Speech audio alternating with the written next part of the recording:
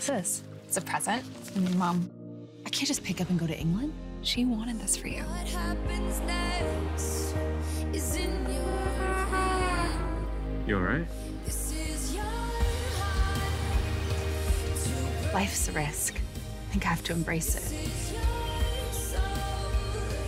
I. Can't believe it's almost been two weeks. Stay longer.